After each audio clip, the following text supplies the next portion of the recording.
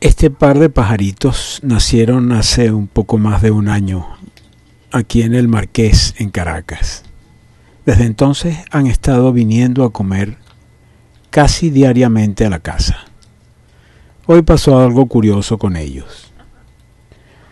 Cuando llegaron, el de la, el de la derecha tiró esto en la baranda de la ventana.